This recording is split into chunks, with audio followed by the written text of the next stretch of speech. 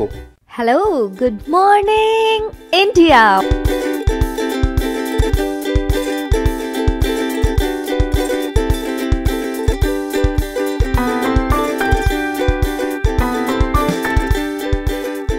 Monday to Friday back to back classes live from studio अपनी सफलता को सुनिश्चित करने के लिए आज ही सब्सक्राइब करें WiFi study state exam channel को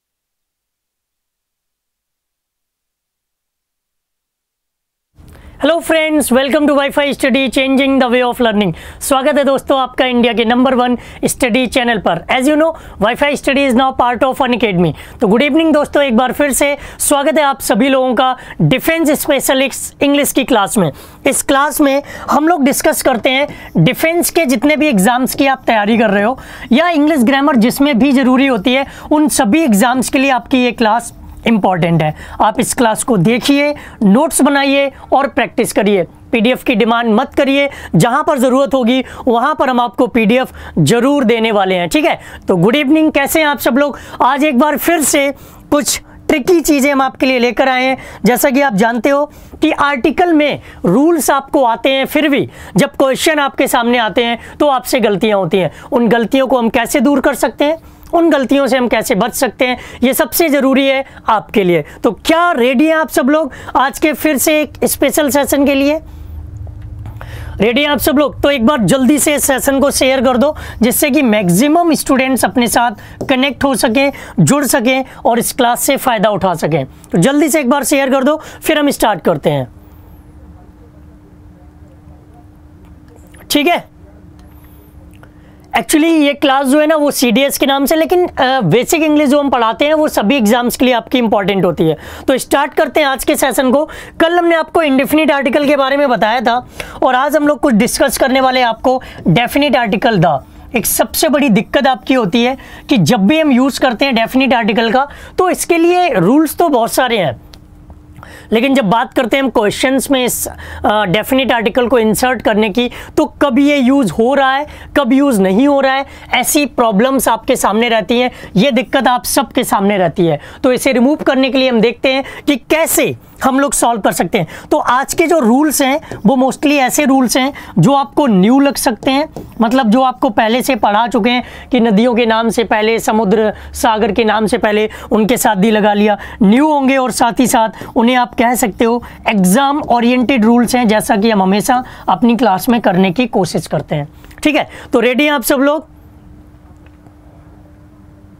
हाँ ट्रिक्स की कोई ज़रूरत ही नहीं होती है। क्या नाम है आपका? नीलेश कुमार जी ट्रिक्स तो हम बताते ही नहीं है। हम सिर्फ़ ये कहते हैं कि ये चीज़ आपके काम को आसान करेगी। इंग्लिश ग्रामर में या किसी भी जगह पर ट्रिक का कोई यूज़ नहीं होता। ट्रिक एक ऐसा वर्ड है जो हमारे माइंड को थोड़ा सा लेजी बना देता, आसान बना देता। माइंड को ही लगता है, ये चीज़ यार बहुत आसान है, इसको हम सीख जाएँगे। जहाँ पर हम ट्रिक वर्ड यूज़ कर देते हैं, वहाँ इंटरेस्ट क्रिएट होता है। इस वजह से इस वर्ड का यूज़ करते हैं, नहीं तो हम इस वर्ड का यूज़ ही नहीं करते। मैं हमेशा बोलता हूँ कि किसी भी सब्जेक्ट में ट्रिक्स केवल और केवल आपके काम को आसान बनाने के लिए, अगर आप जितनी प्रैक्टिस करोगे, उतना काम आपका आसान हो जाएगा। ठीक है? क्लियर हुआ?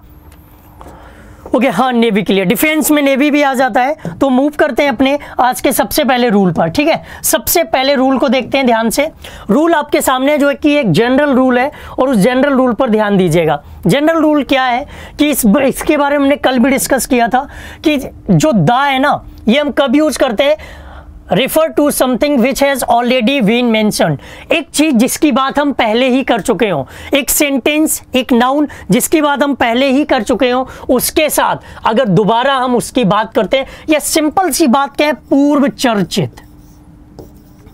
सिंपल सी हिंदी में एक बात कहें तो वो है पूर्व चर्चित। अगर पूर्व चर्चित चीज़ कोई भी है, कोई भी नाउन ऐसा है जिसकी चर्चा आप पहले ही कर चुके हो, जिसका डिस्कशन आप पहले ही कर चुके हो और दोबारा उसका डिस्कशन कर रहे हो तो उसके साथ हम डेफिनेट आर्टिकल द का यूज़ करते हैं। ये एक जनरल रूल है। कल हमने आपको बताया था देखो on Monday an unarmed man stole one thousand dollar from the bank अभी जिसने चुराए हैं ना, वो तो भैया चोरी हुआ जाकर के। अब जब हम इस मैन की उस पर्सन की बात कर चुके हैं। अब उसको जब हमने दोबारा यूज़ किया तो देखो किसका यूज़ किया है? डेफिनेट आर्टिकल द का यूज़ किया। आगे देखो I was walking past Vinny's bakery when I decided to go into अब बेकरी का यूज़ हम पहले कर चुके थे, दोबारा जब हमने इस बेकरी का यूज़ किया तो हमने डेफिनेट आर्टिकल द का यूज़ किया। There is a position available in my team ठीक है? The job will involve some international travel there is a position available ये जो पोजिशन का हमने पहली बार यूज़ किया था तो इंडिफिनिट आर्टिकल यूज़ किया। उसी पोजिशन को हमने एक दूसरे शब्दों में यूज़ किया तो उसके साथ डेफिनेट आर्टिकल का यूज़ किया। तो ये तो आप एक जनरल रूल है कि अगर किसी की चर्चा हम पहले कर चुके हैं, किसी की बात हम पहले कर चुके हैं तो उसके साथ हम डेफिनेट आर्टिकल दोबारा लगाएँगे। ये वाली बात क्लियर हुई आपको? समझ आ गया ना? हाँ अब ज्ञान मत दीजिए, आप कोशिश करिए कि समझने की कोशिश करो। बातों में लगे रहोगे तो समझ नहीं आएगा, ठीक है? यहाँ तक क्लियर हो गया कोई डाउट किसी को? इससे रिलेटेड क्वेश्चन आपसे पूछा जाए, हर रूल के बाद आपको एक क्वेश्चन मिलेगा, जहाँ पर हम ये जानने की कोशिश करेंगे कि हाँ बाकी आप लोग समझ रहे हो या नहीं? तो पूछा जाए क्वेश्चन इसका। क्वेश्चन के लिए रेडी हैं आप सब लोग? जल्दी से बताइएगा। चलो, इसके क्वेश्चन की तरफ़ मूव करते हैं। क्वेश्चन चलो, जवाब दो क्वेश्चन का। इस क्वेश्चन का जवाब दीजिए। क्वेश्चन आपके सामने yesterday night I saw a lion near the road to daily lion was looking very hungry and thirsty आप इसका जवाब अभी बहुत जल्दी में दे सकते हो, क्योंकि इस रूल को अभी हमने डिस्कस किया है। इस रूल को अभी हमने डिस्कस किया है। जल्दी से जवाब दो। मंडे से पहले ए आएगा। मंडे से पहले ए आएगा? कहाँ पर मंडे से पहले ए आएगा? कोई नहीं सर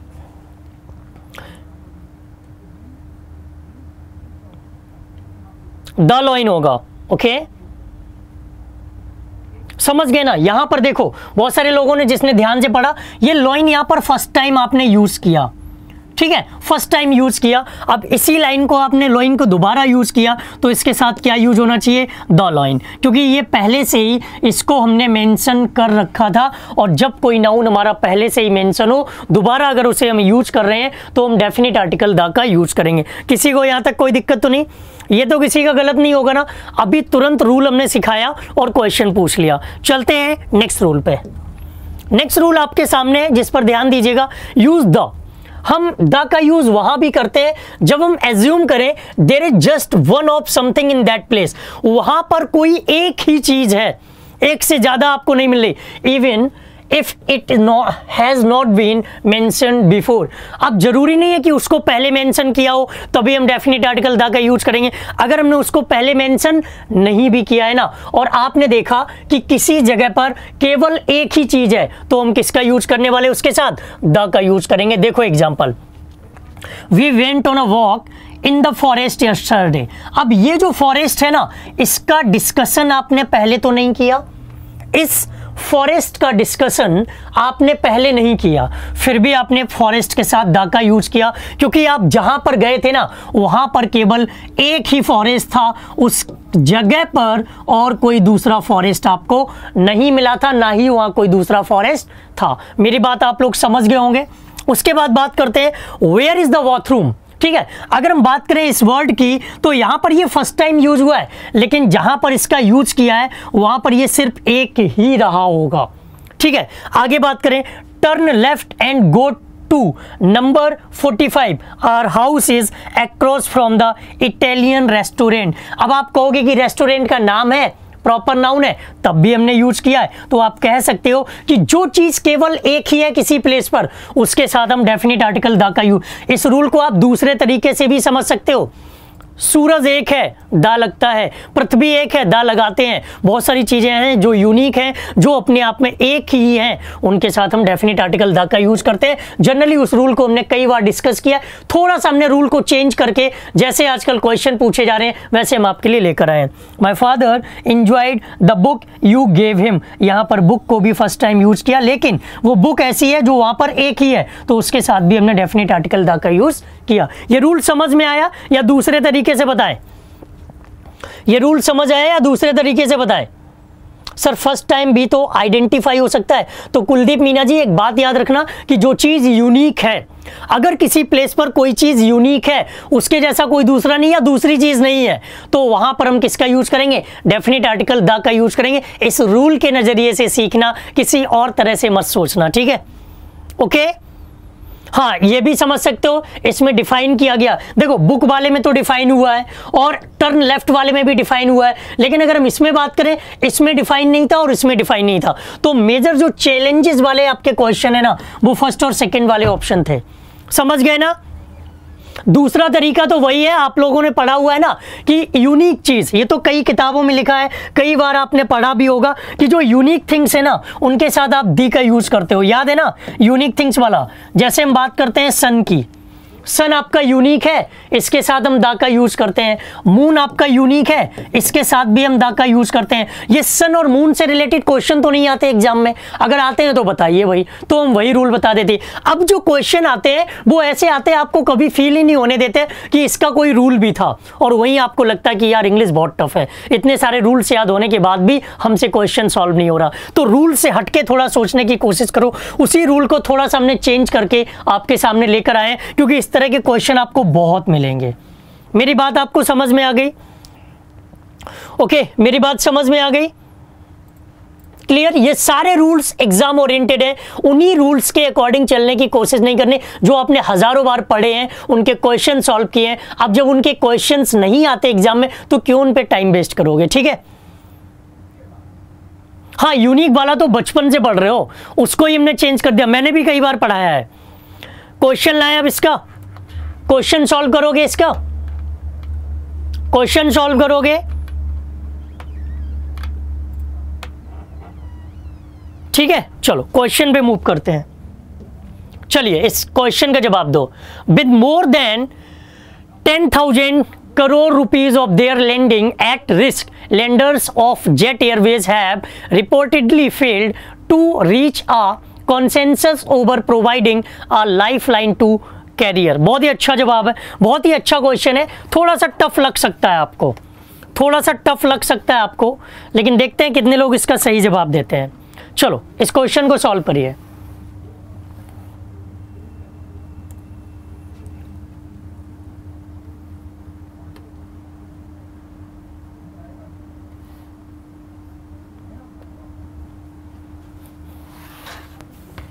द लेंडर्स होना चाहिए। अच्छा। द जेट एयरवेज होना चाहिए ओके सब लोग अलग अलग तरह से जवाब दे रहे हैं।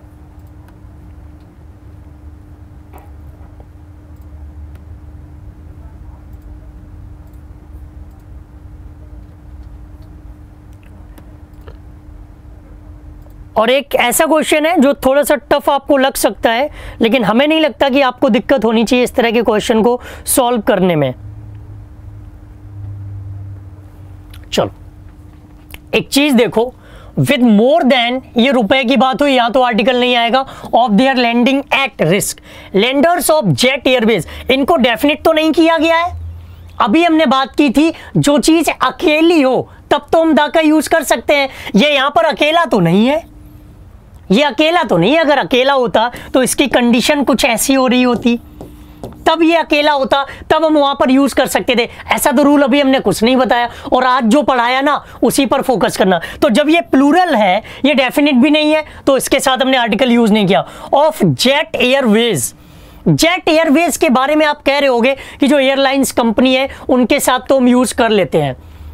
कंपनी के नाम के साथ हम यूज़ कर लेते हैं। यहाँ आप यूज़ करना चाहो तो अभी डिस्कस करते हैं। Have reportedly fail to reach a consensus over providing a lifeline to carrier ये जो कैरियर वर्ड यूज़ हुआ है ना, ये बड़ा इंपॉर्टेंट है। यहाँ पर कैरियर किसके लिए यूज़ हुआ?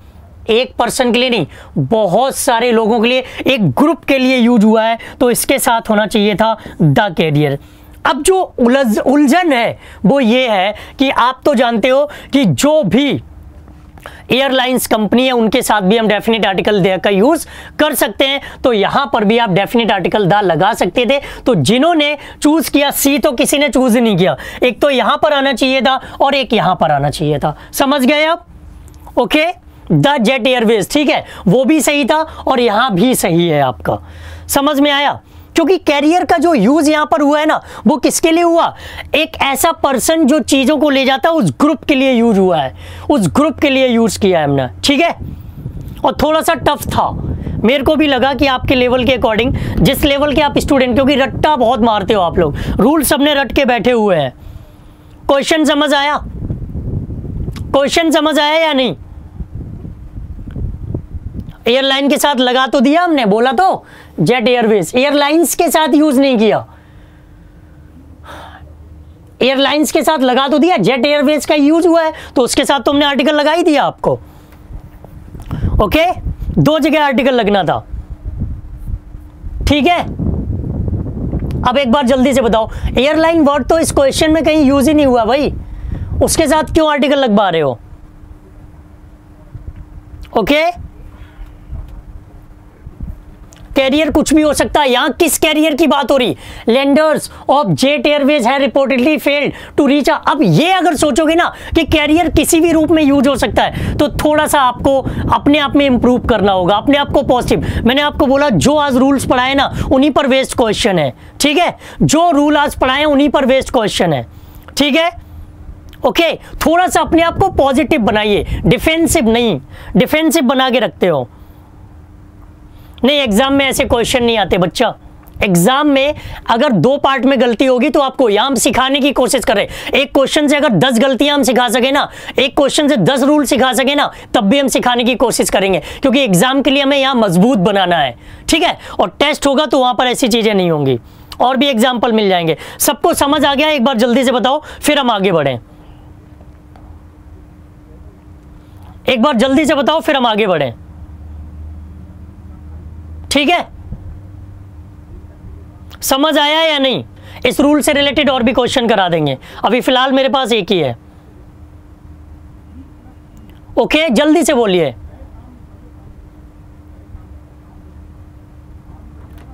ओके थैंक यू चलो। नेक्स्ट रूल देखिए ध्यान दीजिए।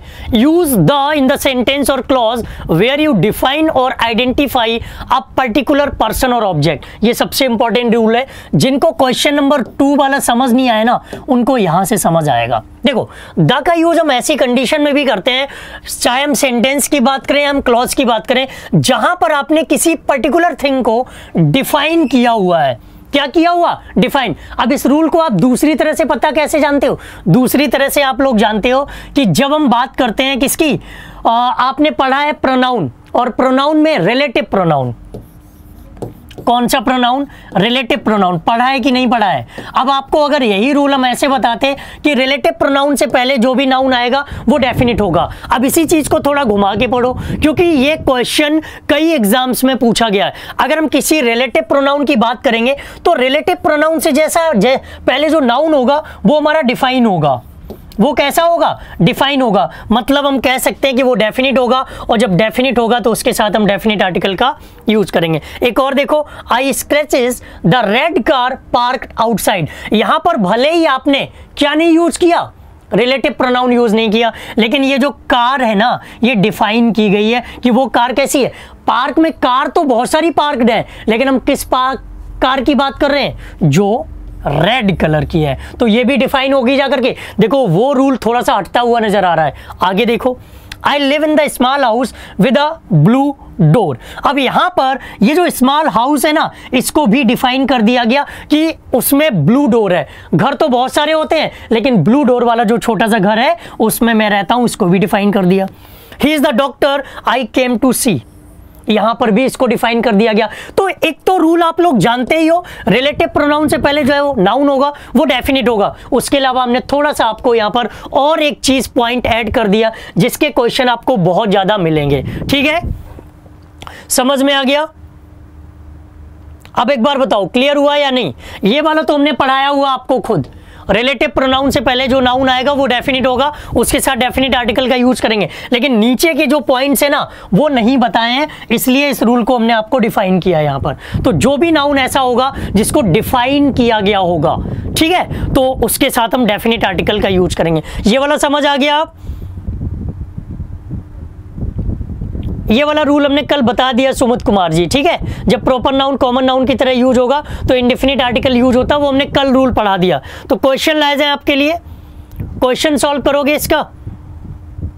क्वेश्चन सॉल्व करोगे? चलो क्वेश्चन आपके सामने।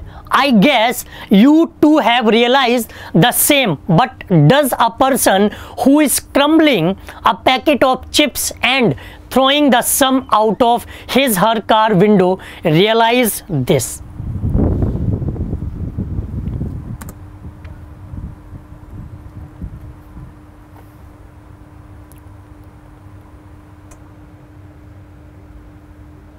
English के रूल हिंदी में लाना, ये कौन सा तरीका है यार? ये कौन सा ऑर्डर दे रहे हो आप मेरे को? यार, ऐसी बात कहा करो जो मैं कर सकूँ। इंग्लिश सब्जेक्ट के रूल हिंदी में, नहीं पॉसिबल नहीं है। या तो लैंग्वेज टफ हो तो हम आपको बताएँ, हिंदी में लाएँ। लैंग्वेज भी टफ नहीं है तो पॉसिबल नहीं है, ठीक है? सॉल्व कर लिया सबने। यहाँ तक किसी को कोई दिक्कत तो नहीं है? देखो, यहाँ पर वही रिलेटिव प्रोनाउन वाला क्वेश्चन हम आपके लिए लाए कि हुज और यूज़ कर रहे हैं। एक रिलेटिव प्रोनाउन है, इस पर्सन के लिए यूज़ हुआ है तो यहाँ आ पर्सन ना होकर के हम किसका यूज़ करेंगे? द पर्सन का। किसका यूज़ करेंगे? द पर्सन का। समझ गए ना? यहाँ तक तो किसी को दिक्कत नहीं है, क्योंकि उस पर्सन को हमने डिफाइन कर दिया था। उस पर्सन को क्या कर दिया था? डिफाइन कर दिया था। फिर भी कुछ लोग गलती कर रहे हैं। सनी कुमार। रचना लोधी जी हाँ हमने बता तो दिया। देखो, यहाँ पर हु जो है, वो रिलेटिव प्रोनाउन है। उससे पहले जो नाउन है, वो डेफिनेट होगा। या फिर हम कह दें डिफाइनिंग नाउन है, और डिफाइनिंग नाउन के साथ हम डेफिनेट आर्टिकल दा का यूज़ करेंगे। ठीक है? इसमें भी कुछ लोग गलती कर रहे थे। यार, ऐसी उम्मीद नहीं थी आपसे। रूल पढ़ाने के बाद क्वेश्चन करा रहे हैं सेम क्वेश्चन फिर गलतियाँ नहीं होनी चाहिए। तो नेक्स्ट रूल की तरफ़ चले। नेक्स्ट रूल की तरफ़ चले। ओके नेक्स्ट रूल की तरफ़ मूव करें। नहीं सॉरी बोलने की कोई ज़रूरत नहीं है। मैं सिर्फ़ ज़्यादा से ज़्यादा आपको समझाने की कोशिश करता हूँ। सौरभ तिवारी, इससे पहले वाला वीडियो, इससे पहले वाले जो रूल था, उसको देख लीजिएगा। ठीक है? द पर्सन ही क्यों होगा? ये तो अजीब बात है यार। बॉय की हिंदी लड़का ही क्यों होती है? लड़का, लड़की क्यों नहीं होती है? है जवाब आपके पास? दो और दो चार ही क्यों होते हैं? पाँच क्यों नहीं होते हैं? है जवाब आपके पास?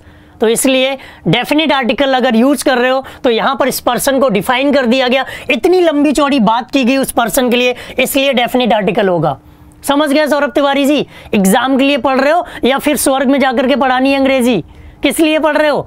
अब जवाब अगर आपके पास है, दो और दो, चार ही क्यों होता है? बॉय की हिंदी लड़का ही क्यों होती है? तो मैं भी जवाब बनाने की कोशिश करूँगा, अगर आप मेरे दो सवालों के जवाब दे दोगे। ठीक है? बिना हाथ पैर की बात मत किया करें। नेक्स्ट रूल की तरफ़ चलते हैं। नेक्स्ट रूल आपके सामने। अब देखो नेक्स्ट रूल क्या है? Use the to refer to people or objects that are unique देखो, अभी थोड़ी देर पहले यूनिक थिंग्स की बात कर रहे थे और यहाँ पर हम आपके लिए लेकर आगे उसी तरह का रूल सिंपल सा रूल है, बहुत जल्दी समझाएँगे. दसन यूनिक है, उसके बाद वर्ड यूनिक है, उसके बाद आप बात करें स्काई यूनिक है. फिर यहाँ क्लाउड्स आप कहोगे क्लाउड्स यूनिक नहीं क्या? क्लाउड्स यूनिक नहीं. घने बादल कम बादल, ज़्यादा बरसने वाले बादल, कम बरसने वाले बादल, हर तरह की चीज़ आएगी। The president will be speaking on TV tonight president post हो गई। The CEO of Total is coming to our कमी ठीक है? तो जो भी यूनिक थिंग्स की बात करेंगे, उनके साथ डेफिनेट आर्टिकल द का यूज़ करते हैं। ठीक है? ओके तो इसका एक क्वेश्चन पूछा जाए। इसका क्वेश्चन पूछा जाए? कोई बात नहीं, आप लोग उन चीज़ों पर डिस्कशन मत किया करो। कभी कभी ऐसे स्टूडेंट आ जाते हैं, उनको जवाब देना ज़रूरी है। उन, वो क्या होता है कि आज तो चलो उन्हें ये रूल पता था, इसलिए उन्होंने कमेंट कर दिया। कभी अगर वो मैथ्स या रीजनिंग या फिर जीके की क्लास ले रहे हो और कोई ऐसा टॉपिक पढ़ाया जा रहा है, जिसके बारे में उन्हें जानकारी नहीं है, अगर वो ऐसा बिहेव करेंगे तो उनका नुकसान होगा, वो इस चीज़ को नहीं सीख सकते, ठीक है? ओके, चलो, आगे बढ़ते हैं इसके रूल पर क्वेश्चन पर। चलो, इस क्वेश्चन का जवाब दो। This much is true but it also emerges that the economy of nepal is the seventh largest sender of remittance of india after uae the us saudi arabia the uk bangladesh and canada आ, देखो गोपी जहांगीर जी सबसे पहले आप क्या करो दो बार इस session को देखना पड़ेगा अगर आप नोट्स बनाते हो पहले आप क्लासेस में पढ़ो सीखो और उसके बाद नोट्स बनाओ ठीक है पहले वाला फिर बता दे। सुमन चौधरी जी, एक बार देख लेना सेशन को। ना समझ आए, मेरे को कमेंट कर देना, मैं समझा दूँगा। हाँ क्लाउड को अगर पर्टिकुलर डिफाइन कर देते ना तो आर्टिकल आ जाता। चलो, इसका जवाब दो। क्वेश्चन अच्छे पूछते हो। द नेपाल। ऋषभ रॉय का जवाब आया कि नेपाल के साथ द लगेगा। द यू ए ई कुछ लोग द नेपाल कह रहे हैं, कुछ लोग द यू ए ई कह रहे हैं। Economy of the Nepal. The India भी कह रहे हैं कुछ लोग, वाओ, गजब के स्टूडेंट हैं.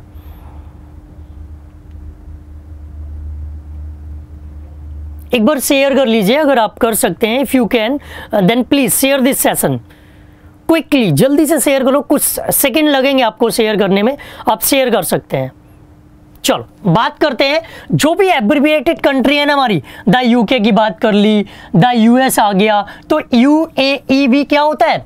यूनाइटेड अरब एमिरेट्स पूरा है नाम। तो द यू यूज़ करते हैं। चाहे इसको आप शॉर्ट में लिखना, चाहे कंप्लीट लिखना द यू यूज़ करेंगे। अब बात आती है क्यों? बात आती, जहाँ पर क्यों का सवाल होता है ना, वहाँ नहीं पूछते हो। जहाँ नहीं होता ना, वहाँ पूछते हो। अब सुनो, जैसे हम इंडिया लिखते हैं इंडिया को कभी भी आप द इंडिया नहीं करोगे। केवल इंडिया ही रहेगा आपका। इंडिया को कभी आप द इंडिया तो नहीं करोगे, हमेशा क्या यूज़ करोगे? इंडिया ही यूज़ करोगे। अब अगर हम बात करें इंडिया के साथ द तो हम ऐसे कर सकते हैं the republic of India the republic of India अगर किसी कंट्री के नाम से पहले रिपब्लिक या यूनाइटेड आ जाए, किसी भी कंट्री के नाम से पहले, अगर क्या आ जाए? रिपब्लिक और यूनाइटेड आ जाए तो हम उसके साथ डेफिनेट आर्टिकल द का यूज़ कर लेते हैं। मेरी बात को ध्यान से समझना। कोई भी कंट्री हो, उसके साथ यूनाइटेड आ जाए, उसके साथ क्या आ जाए यूनाइटेड आ जाए, या फिर उसके साथ रिपब्लिक आ जाए तो हम द का यूज़ कर लेते हैं। देखो, इसमें भी है यूनाइटेड अरब अमीरात, इसके में यूनाइटेड स्टेट्स इसमें भी है यूनाइटेड किंगडम और यूनाइटेड और रिपब्लिक आएगा तो आप दा लगा लोगे। समझ गए मेरी बात को? लेकिन इनके कुछ एक्सेप्शन भी है, जैसे the Vatican City, the Sudan, the Oman, इनके कुछ एक्सेप्शंस भी है, ठीक है? क्योंकि ये यूनाइट ये बहुत सारे स्टेटेड या यूनिटी के ग्रुप्स को बताते हैं। मेरा पॉइंट क्लियर हो गया? कीर्ति चौहान, बिल्कुल। The Indian the Indian nationality के सेंस में कर सकते हैं, वो एक अलग रूल है। द इंडियन नेशनलिटी के सेंस में कर सकते हैं, वो एक अलग रूल है। यहाँ तक समझ में आ गया? कुछ कंट्री के पहले ही दी क्यों आता है, इसका सिंपल सा फंडा है कि जैसे ये कौन पूछ रहा है रेनू विश्वकर्मा। रेनू विश्वकर्मा जी, आपका नाम अगर मम्मी ने द रेनू रख दिया होता ना तो आज आपके साथ भी आर्टिकल लगा होता और हम चाह कर भी इसे हटा नहीं सकते थे। ठीक है? तो उनका नाम द सूडान, द ओमान, इस तरह के नाम उन्होंने रखे हुए हैं। मेरी बात समझ में आ गई? एक बार जल्दी से बताओ, क्लियर? बांग्लादेश के साथ कोई आर्टिकल नहीं आएगा। ठीक है? डन वो कौन कौन से कंट्रीज़ है हमने बताए? The Vatican City the Oman है द सूडान है, इनके साथ जनरली हम द का यूज़ करते हैं, ठीक है? क्लियर नेपाल के साथ आर्टिकल नहीं लिखता। ऐसे यूनिक तो इंडिया भी है तो इंडिया के साथ भी लगा लो। ऐसे यूनिक तो श्रीलंका भी है, उसके साथ भी दा लगा लो। ऐसे यूनिक तो सिंगापुर भी है, उसके साथ भी दा लगा लो। समझ रहे हो ना? यही तो डाउट्स क्लियर करने के लिए आर्टिकल आपको बार बार सीखना पड़ता है। ठीक है? नेपाल वाली बात क्लियर हो गई।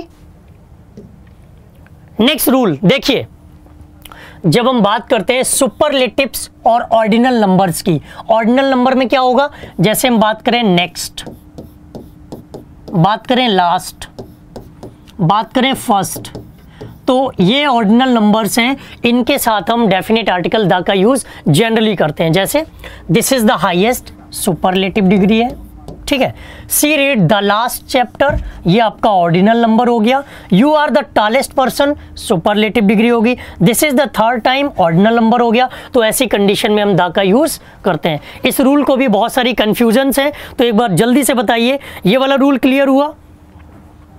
रेनू विश्वकर्मा, नीदरलैंड्स अगर यूज़ करते ना, नीदरलैंड देश का नाम है। अगर नीदरलैंड्स कर रहे हो ना तो वो बताता है ग्रुप ऑफ़ आइलैंड्स को, वो एक अलग रूल है। वो ग्रुप ऑफ़ आइलैंड्स को बताता है, इसलिए दा आता है वहाँ पर, ठीक है? वो आइलैंड के ग्रुप को बताता है, इसलिए दा लगाते हैं वहाँ पर। डन? ओके?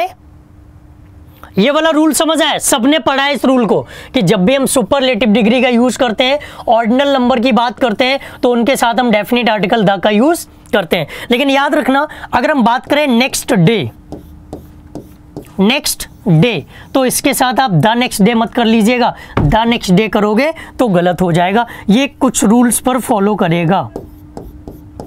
इसीलिए हमने एक वर्ड यूज़ किया जनरली समझ गए ना? इसको आगे अभी एक्सप्लेन करते हैं। इसको आगे अभी एक्सप्लेन करते हैं। डन लवली अशन गुप्ता इस एग्जैक्टली exactly. इसको एक स्पेशल हमने कॉन्सेप्ट बनाया है, उसमें डिस्कस करके बताएँगे।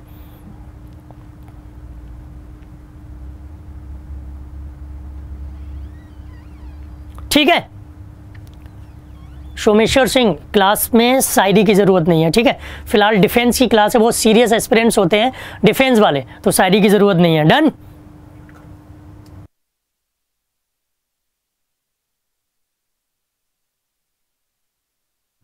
ठीक है?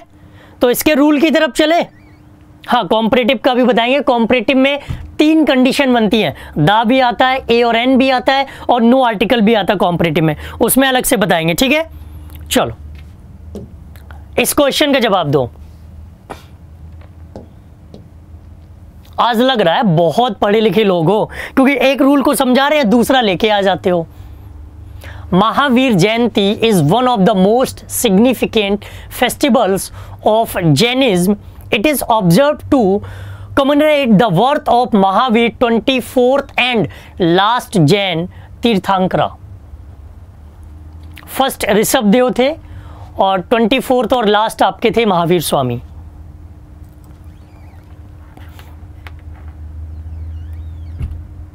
द लास्ट करेंगे या द ट्वेंटी फोर्थ करेंगे?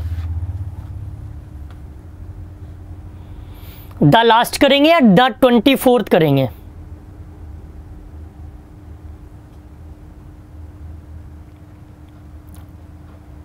क्लास में शायरी नहीं मोटिवेशन लाइंस की ज़रूरत होती है।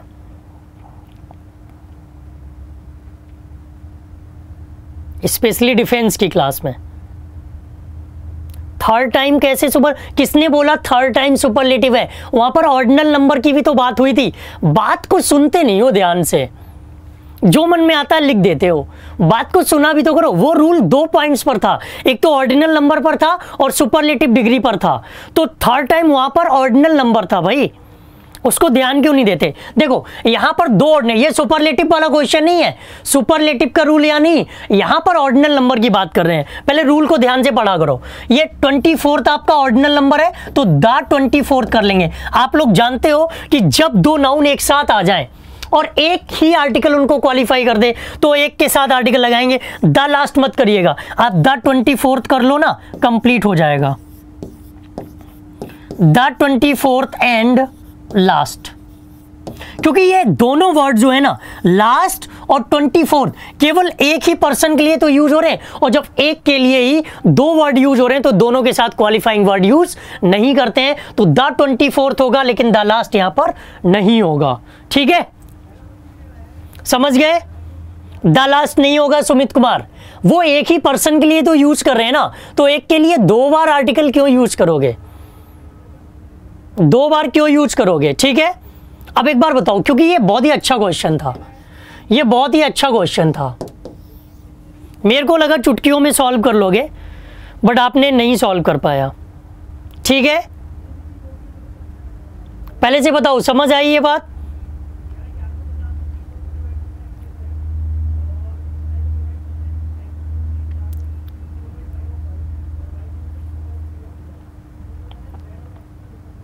ठीक है डिफरेंट पर्सन के लिए यूज़ कर लेते हैं हम। डिफरेंट पर्सन के लिए तो यूज़ कर लेते हैं।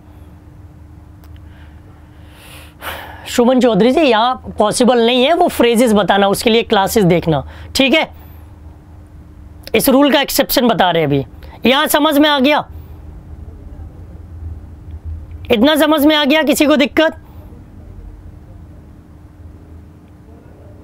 क्यों नहीं होगा सर एक बार फिर बताओ, क्या नहीं होगा? आज तो पता नहीं क्या खा के आए हो यार आप लोग। समझने को तैयार ही नहीं हो आज।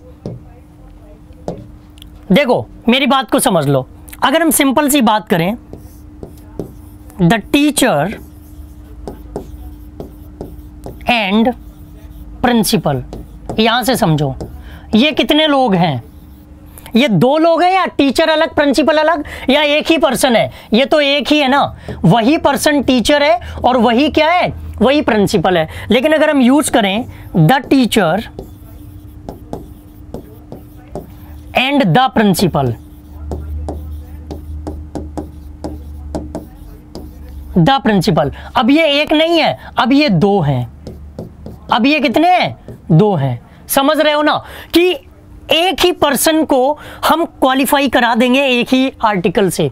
लेकिन अलग अलग पर्सन है तो हम दोनों के साथ यूज़ करेंगे। अब यहाँ देख लो, ये जो वर्ड यूज़ हुआ है ट्वेंटी फोर्थ और लास्ट वही चौबीस में थे और वही सबसे लास्ट भी थे। तो एक ही लोगों के लिए तो यूज़ हो रहा है। तो इस वजह से हम यहाँ तो दा यूज़ करेंगे, इसके साथ यूज़ नहीं करेंगे। अगर अब भी नहीं समझे तो फ्रिज में जाओ, खोलो, एक गिलास ठंडा पानी पियो, सोचो क्यों नहीं आ रहा आपको और जवाब मिल जाएगा। बोलिए, अब समझ में आ गया? अब समझ आ गया या नहीं?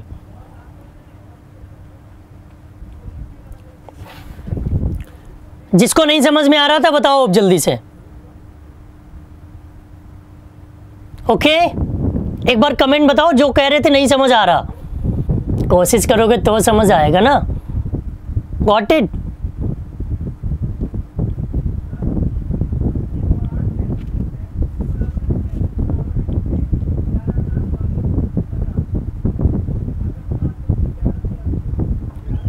चलो, आगे बढ़ते हैं। अगला रूल आपकी स्क्रीन पर। नेक्स्ट रूल नेक्स्ट रूल पर ध्यान दीजिएगा। नेक्स्ट रूल आपके सामने use the with adjectives to refer to a whole group of people अभी जो ग्रुप वाली बात हो रही थी ना, उसमें कंफ्यूजन हो रही थी। इस group whole group of people means जो किसको बताएगा? सिटीजनशिप को बताएगा। जो किसको बताएगा? नेशनलिटी को बताएगा। या जिसे हम कहते हैं, नागरिकता को बताएगा। किसको बताएगा? नागरिकता को। मेरी बात को ध्यान से समझना। अगर इंडिया हमने लिखा है तो इंडिया तो एक कंट्री का नाम हो गया। लेकिन अगर हम लिख रहे हैं इंडियन तो इसका मतलब क्या है? उस देश के सभी लोग। इंडियन का मतलब क्या है? होल ग्रुप ऑफ़ पीपल जैसे चाइना की बात करें चाइना तो कंट्री का नाम हो गया। अगर हम कह दें चाइनीज़ तो वो क्या हो गया? होल ग्रुप ऑफ़ पीपल हो गया। जिसे आप लोग कहते हो नागरिकता। सिटीजनशिप तो देखो द फ्रेंच इंजॉय चाइनीज़ अब यहाँ चाइनीज़ क्या है? चाइनीज़ क्या है यहाँ पर? लैंग्वेज है क्या? या फिर चाइना के लोगों की बात हो रही है? अगर चाइना के लोग होते तो दा लगता, लेकिन यहाँ चाइनीज़ लैंग्वेज का नाम है, और लैंग्वेज के नाम के साथ कोई आर्टिकल यूज़ नहीं होता। आपको ट्रिक याद है ना? गोल ऑफ़ स्टूडेंट वाली, उसमें बताया हुआ था। The elderly require special attention. ये जो एल्डरली है ना, सभी बड़े लोगों की बात हुई है। जितने भी बड़े लोग हैं ना, आपसे उम्र में ज़्यादा, उन सब की बात हुई है, ग्रुप की बात हुई। She has given a lot of money to the poor ये तो जानते ही हो द पुअर गरीबों को। गरीब का प्लूरल समझ गए? चाइनीज़ यहाँ पर, पता है? यार फ्रांस के लोग चाइना के लोगों को क्यों पसंद करेंगे? अपनी कंट्री में किसी को पसंद करेंगे? यहाँ पर बात चाइनीज़ लैंग्वेज की हो रही है। ठीक है? ओ सॉरी चीज़ ओ सॉरी मेरे को चाइनीज़ पसंद है क्या? ओके डन हाँ हाँ ठीक है चीज़ है वो। आप समझिए ना, वो चीज़ है। ठीक है? हाँ द डच अगर यूज़ करोगे तो वो हॉलैंड के लोगों के, हॉलैंड की बात जानते हो ना? हॉलैंड के लोगों को यूज़ करते हैं। अब इसको साफ़ कर दें, समझ आ गया सबको? हाँ जी हाँ चीज़ है वो। ठीक है? अब देख लो, हज़ारों लोग प्रवचन देने वाले मिलेंगे।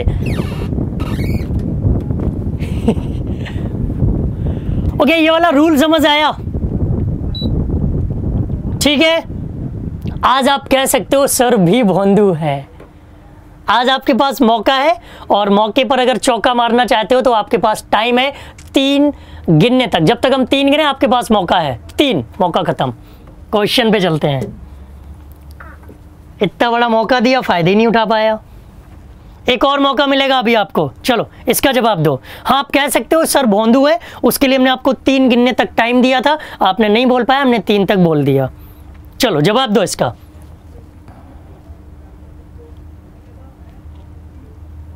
ओए, सौरभ तिवारी, कुछ ज़्यादा नहीं बोल रहे हो तुम यार। घर में दीदी से पूछना कौन सी चीज़। कूट दिए जाओगे धर के, मम्मी से पूछना कौन सी चीज़।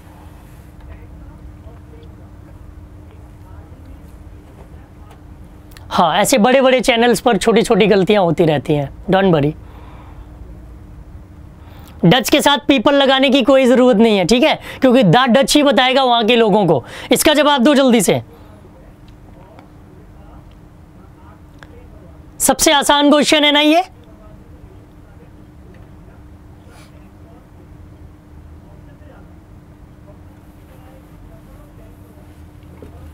क्यों बोलूँ वन टू में? डायरेक्ट तीन बोलेंगे, ये मेरा अपना स्टाइल है। हम क्यों वन टू थ्री बोले? हम डायरेक्ट थ्री बोलेंगे? चलो, द रामचरित मानस, कोई दिक्कत किसी को?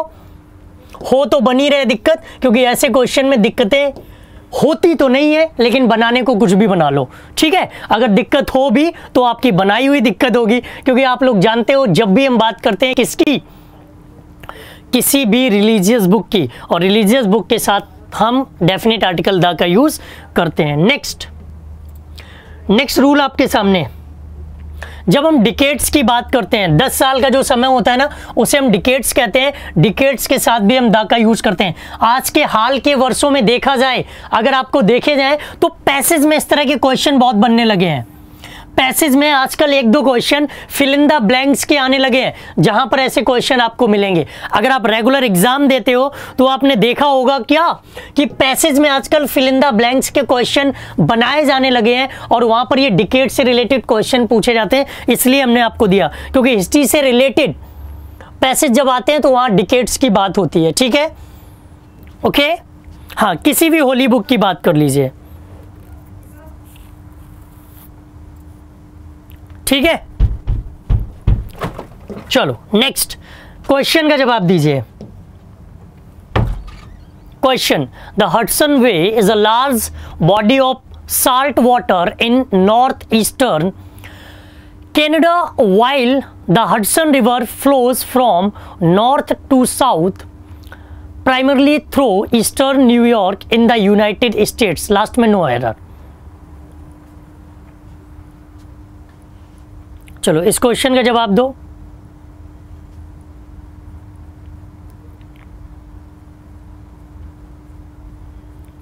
The Hudson way is a large body of salt water in north eastern Canada while the Hudson river flows from north to south primarily through eastern New York in the United States अच्छा question है ये।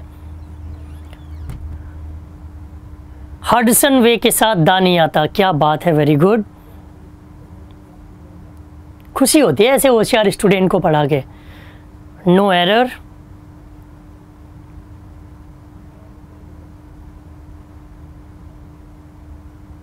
okay the eastern देखो मेरे दोस्त the eastern हम कर तो सकते थे, लेकिन ये पूरा एक वर्ड है। हम साउथ, द साउथ यूज़ तो कर सकते हैं। The south west, the south east, ये द साउथ तो हम यूज़ कर सकते हैं। लेकिन साउथ इंडिया के साथ थोड़ी ना यूज़ करेंगे।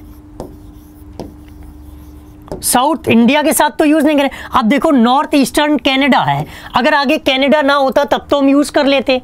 तो वहाँ तो नहीं आएगा अब बताओ। वहाँ तो नहीं आएगा अब बताओ।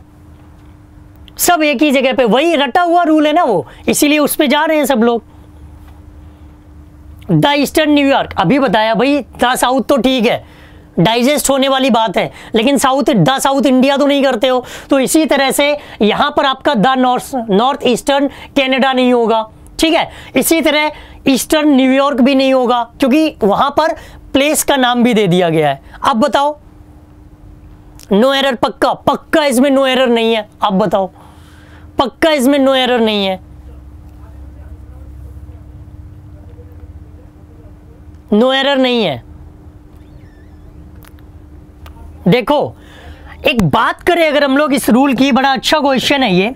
हटसन हटसन एक नदी है। हटसन एक नदी है जिसके किनारे न्यूयॉर्क बसा हुआ है। हालाँकि हम गए नहीं है कभी, हमने किताबों में पढ़ा है। हटसन एक रिवर है और आप जानते हो रिवर के साथ हमेशा हम दा का यूज़ करते हैं। ठीक है? लेकिन हटसन एक खाड़ी भी है। हडसन एक वे भी है, हडसन एक खाड़ी भी है और हडसन खाड़ी के साथ हम कभी भी किसी आर्टिकल का यूज़ नहीं करते हैं तो हडसन वे के साथ यहाँ पर आर्टिकल नहीं होगा। इसी तरह अगर ये हडसन रिवर होती तो डेफिनेट आर्टिकल द का यूज़ कर लेते। समझ गए ना? हाँ हटसन वे से पहले दा नहीं आता हटसन रिवर के साथ आता। यहाँ पर क्यों का जवाब चाहो तो दे सकते हैं, लेकिन कोई पूछेगा नहीं। क्योंकि जहाँ क्वेश्चन बनता है, वहाँ आप लोग क्वेश्चन पूछते नहीं हो। जहाँ नहीं बनता है, वहाँ दहाड़े मार मार के चिल्लाते हो। यहाँ देखो, दोनों में डिफरेंस हटसन नदी भी है, हटसन खाड़ी भी है। अगर केवल आपके पास हटसन लिखा हो तो कैसे पहचानोगे ये नदी है या खाड़ी है? केवल हटसन लिखा हो वे ना लिखा हो तो समझ जाओ ये क्या है। खाड़ी है। अगर आपके पास कभी भी लिखा हो, द हटसन और उसके आगे रिवर ना भी लिखा हो तो आप समझ जाना कि ये रिवर है। दोनों में अंतर पैदा करने के लिए, दोनों में डिफरेंस बनाने के लिए हटसन वे के साथ आर्टिकल का यूज़ नहीं करते, क्योंकि रिवर के साथ द का यूज़ होता है। क्यों का जवाब मिल गया? अब पूछ लो क्यों? जब मैंने बोला, क्योंकि हटसन रिवर भी है हटसन वे भी है। अब अगर, अगर केवल आपके पास लिखा हो क्या? अगर कभी आपको मिले कि केवल आपका लिखा हो हटसन केवल क्या लिखा हो?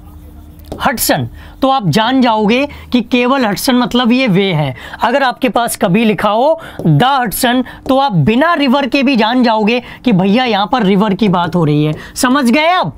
दोनों में डिफरेंस करने के लिए। हाँ द वे ऑफ़ बंगाल भी है द वे ऑफ़ मैक्सिको भी है द वे ऑफ़ पर्सियन भी है। सभी वे के साथ दा लगता है। ठीक है? समझ गए ना? मोहम्मद शाहिद अफरीदी जी यूनिक तो आप भी हैं यार। आपके जैसा भी तो दुनिया में कोई नहीं होगा। फिर भी आपके साथ आर्टिकल नहीं लगता। ठीक है? तो जिनके साथ लगता है, उनको समझने की कोशिश करिए। डन किसी को कोई दिक्कत यहाँ तक? समझ गए ना? हाँ the bay of Bengal the bay of Persian the bay of Mexico सबके साथ दा लगता है। द वे ऑफ़ बंगाल होता तो है। क्योंकि बंगाल नाम से कोई नदी तो नहीं है ना? ठीक है? हाँ वे अगर ना हो और रिवर की बात करें तो दा लग जाएगा, ठीक है? समझ गए ना? कहाँ कंफ्यूज हो गए, बताइए। किस जगह पर कंफ्यूज हो गए? द वे ऑफ़ हटसन कर लो भाई, नहीं मान रहे हो तो। किस जगह पर कंफ्यूज है, बोलो तो हम कंफ्यूजन दूर करें। किस जगह पर आप लोग कंफ्यूज हुए हैं, बता दीजिए।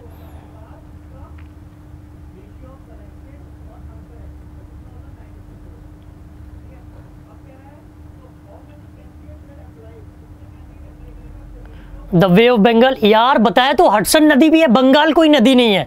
हटसन नदी भी है और हटसन खाड़ी भी है। दोनों में डिफरेंस करने के लिए एक के साथ आर्टिकल नहीं लगता है। बंगाल नदी थोड़ी ना है। बंगाल भी अगर नदी होती, खाड़ी होता तो शायद उसमें भी रूल अप्लाई होता। बंगाल नाम से नदी नदी तो नहीं है। बंगाल में तो दामोदर नदी है ना? ठीक है? ओके समझ गए ना? ठीक है?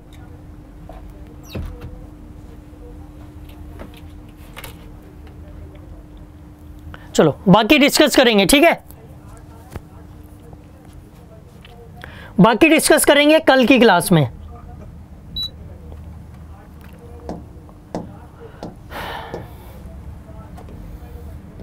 नॉलेज का यूटिलाइज नहीं करते हो, आता सब कुछ है आप लोगों को। नॉलेज का यूटिलाइज नहीं करते हो। नॉलेज के साथ मज़ाक करते हो आप लोग।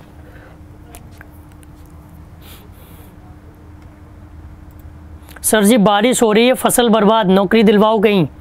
राजपाल चौधरी, रोक लेते, वो भी एक नौकरी है। फ़सल नष्ट होने से रोकना भी एक नौकरी है, उससे बेटर जॉब नहीं मिल सकती। दे दी नौकरी यूज़ करिए उसका, ठीक है? सैलरी भी दे देंगे। खुश? पॉजिटिव सोचो। अपनी नॉलेज का यूटिलाइज करो। मैंने आज बहुत सारे स्टूडेंट को देखा अपनी नॉलेज के साथ मज़ाक करते हुए। उन्हें चीज़ें पता है, फिर भी उसके साथ मज़ाक कर रहे हैं कि ये क्यों होता है, ऐसा क्यों होता ये नहीं होता, वो नहीं होता। जबकि सारे रूल्स को क्लियरली हमने एक्सप्लेन किया। सारे रूल्स को हमने क्लियरली एक्सप्लेन किया, ठीक है? हाँ शिवम शुक्ला एयरफोर्स के लिए भी बिल्कुल होगी, ठीक है? चलो, इसलिए जल्दी कर रहे हैं क्योंकि आप लोग नॉलेज के साथ मज़ाक कर रहे हो। शायद मज़ाक के मूड में आप लोग हो, लेकिन मैं बिल्कुल मज़ाक के मूड में नहीं था, ठीक है?